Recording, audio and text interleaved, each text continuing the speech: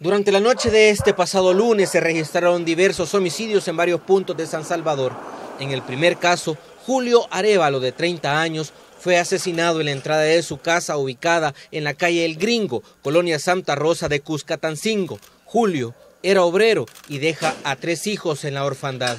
Fue lesionado por proyectiles disparados por arma de fuego por personas desconocidas, quienes se transportaban en una motocicleta en el momento que él estaba en la entrada de su vivienda.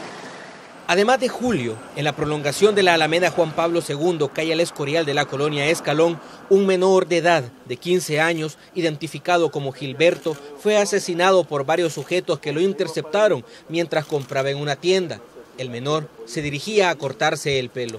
Eh, al parecer el muchacho comprando estaba ahí cuando pasaron de un vehículo, no sé si bajaron los sujetos, pero sí en un vehículo te dieron la fuga, le dispararon. Al parecer como que cortarse el pelo en que habían ido, pero comprando estaba ahí a la hora. Ambos hechos se dan ahora de que el Ejecutivo anunciara medidas extraordinarias para mejorar el combate a la criminalidad que acecha a las familias salvadoreñas.